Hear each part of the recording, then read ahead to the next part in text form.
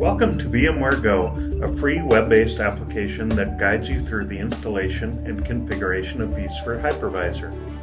Regardless of your expertise level, easy-to-use wizards will walk you through the process quickly and get you up and running in no time at all. VMware Go lets you create virtual machines in several different ways. First, you can create a new virtual machine using the Virtual Machine Wizard. Or you can use VMware P2V Converter to convert existing physical systems to virtual machines. If you have an existing VMware server, you can automatically migrate its VMs to vSphere Hypervisor. Finally, you can import popular virtual appliances from the Virtual Appliance Marketplace. VMware Go also provides IT management applications to manage and secure your infrastructure, both virtual and physical. So let's go ahead and get logged into VMware Go. You should use the same login information that you use when you registered at VMware.com.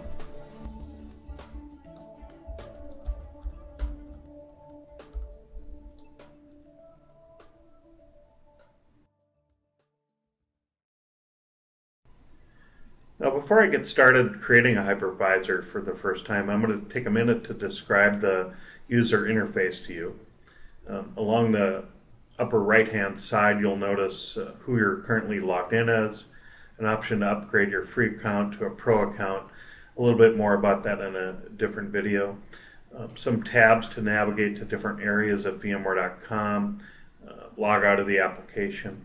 A link to the community site, which by the way is a great place to go to get support for VMware Go. Um, along the left hand side is the main navigation menu and this just gives you options to get to different areas of the application. Uh, uh, the virtualization quick start area is where you'll first go to create a hypervisor, set up virtual machines. Uh, there's also uh, a couple different sections to manage your IT infrastructure, um, software and security patches and help desk tickets.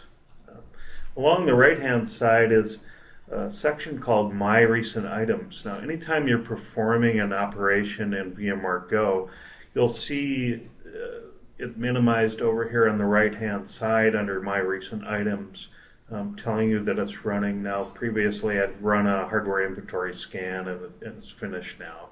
But that's an area you can go anytime to see uh, what's been executed in VMware Go. There's also a community data section that lets you look at what other people in the VMware Go community have been doing with VMware Go. Uh, options to find a, a, VMware expert in your area, uh, import virtual appliances. Uh, so let's go ahead and get started creating a hypervisor. Now, if this is your first time using VMware Go, uh, you're given an option of uh, creating a brand new hypervisor this will actually download the uh, the installation for you and let you uh, install it to a machine that you already have ready for for uh, a hypervisor to be installed on. Um, or there's options if you already do have an existing hypervisor, you can use VMware Go to discover that and add it to your account. Or if you have a VMware server, you can transfer virtual machines from it to a new hypervisor um, using this uh, the migration wizard. But I'm going to go ahead and get started and jump right into uh, creating a brand new uh, hypervisor for the first time. The first thing that happens is it asks you to input an IP address for the machine that you want to install hypervisor on. Now, this assumes it's a Windows operating system. It's going to go out to that system and test it against the hardware compatibility list to make sure that you can run hypervisor. If it's not running a Windows operating system, you can always uh, click not running Windows and download the ISO and install it yourself. But I have a Windows system that I'm going to use as uh, uh, my hypervisor. Now, I'd, I'd encourage you to, if if you need to, you know, make a backup of the the uh, server before doing this. Um, specifying the new hypervisor name. Now, now this is just the name that it's going to call it when it registers it, registers it in VMware Go. Um, but when I go off to this system and test it, I'm going to use my current credentials because I know I have admin privileges on that system. If you didn't choose that, you'd be able to, uh, it would prompt you for a username password.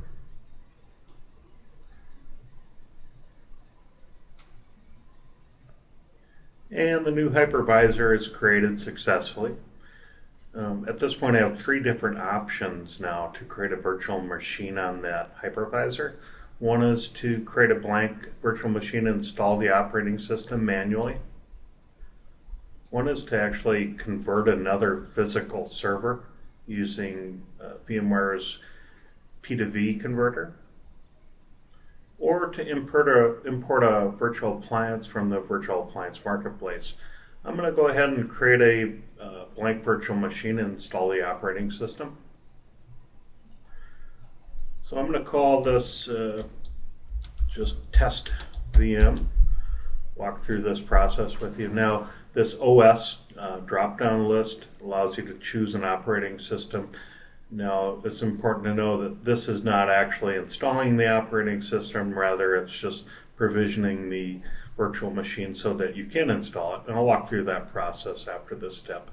I'm going to choose a medium size. I'm going to go ahead and create the virtual machine.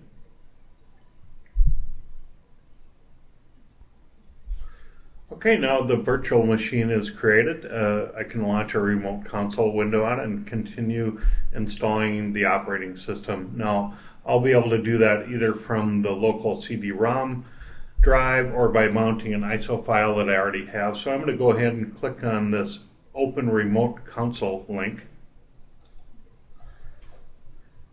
And the remote console window uh, starts up. Um, it says, of course, operating system not found because at this point it's just blank. I haven't installed one yet. So under this devices menu at the top, I can actually connect to my local CD-ROM drive if I have the installation media. Um, or if I have a disk image file, I can, uh, I can mount that.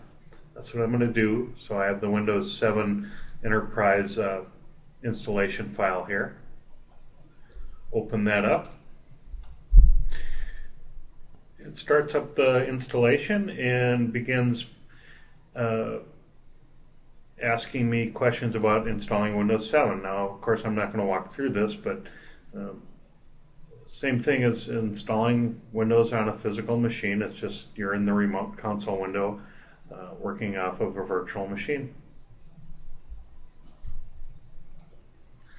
And that's it. That's uh, you know I've created a blank hypervisor and added uh, a, a, new virtual machine that I called Test VM. Um, installed an operating system on it.